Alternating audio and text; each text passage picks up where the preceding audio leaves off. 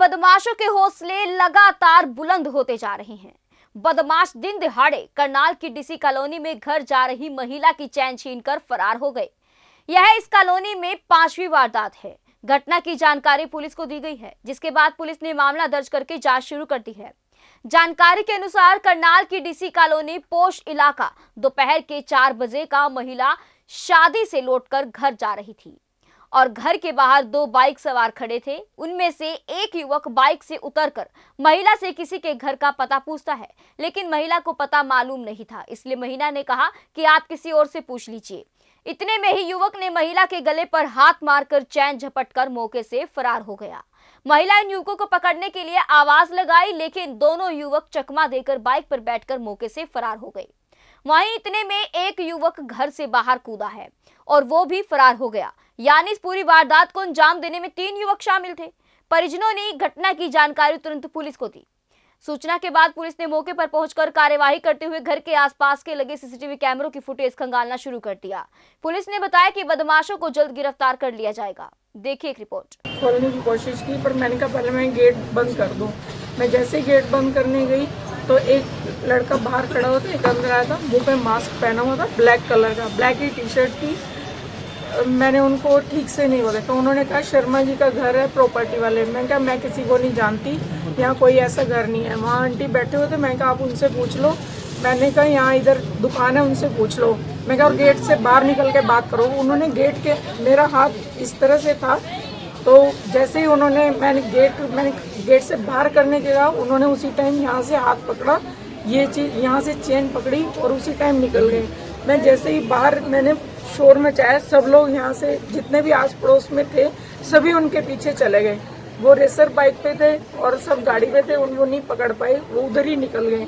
मैंने देखा कि एक लड़का यहाँ से मतलब वो किया।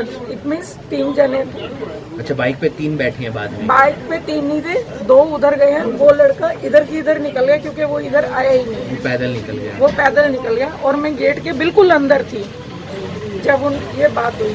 उसके बाद मैं घर के अंदर आई हूँ मैंने सब चेक किया कि लोग वगैरह तो बंद है क्योंकि जो वो लड़का अंदर था उसने तो कोई नुकसान नहीं किया। लेकिन ऐसा कुछ नहीं। था बस वो चेन लेके चले गए। पुलिस को आपने इन्फॉर्म किया उसके बाद? पुलिस को उसी टाइम कॉल कर दिया था। मैंने उसका हाथ भी पकड़ा है। एक्चुअली मेरा एक्सीडेंट की वजह से ये हाथ काम इतना नहीं करता। उसने मेरा हाथ मोड़ा तो चला पीछे से आए हो आपके साथ? मैंने नहीं ध्यान दिया। तो आप शादी से घर आए थे? मैं शादी से इसलिए घर आई थी मेरी तबीयत ठीक नहीं थी क्योंकि मेरा सारा परिवार वहीं था। मैंने किसी को डिस्टर्ब करने की कोशिश नहीं की कि सारे मेरे पीछे साथ ही आ जाएँगे। तो अभी रिक्शा से घर आ गए? मैं ई रिक्शा से घर आई थी।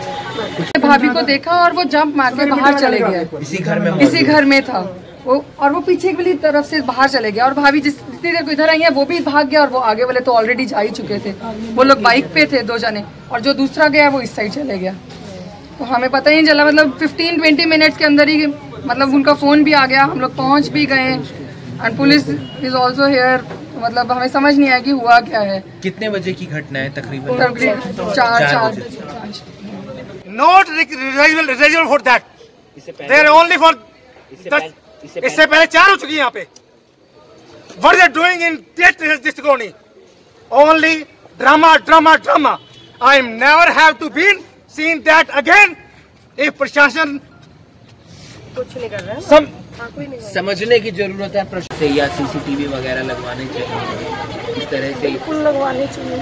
क्योंकि घर में गश्त बढ़ाने देखिए अब हम फैमिली मेंबर्स कितने होते हैं? सिर्फ़ चार। अब हमें कहीं दुख सुख में आना भी पड़ता है। हमारे बच्चे घर हैं तो हम इट मीन्स अपने बच्चों को भी सेफ़ नहीं समझ सकते। अगर हम घर से बाहर जाएँ तो हमारे बच्चे सेफ़ नहीं है। लगानी चाहिए। ऐसे ही लेटेस्ट खबरें पाने के लिए बेल आइकन को क्लिक कर हमारे चैनल को लाइक शेयर एंड सब्सक्राइब करें। धन्यवाद। JBD Banquets lie हैं incredible marriage palace Rajgharana and the finest banquet hall Jyoti Garden. World class catering, centrally air conditioned, lush green lawns, state of the art lighting. A perfect venue for wedding, launching and parties. Rajgharana and Jyoti Garden at JBD Banquets Enterprise.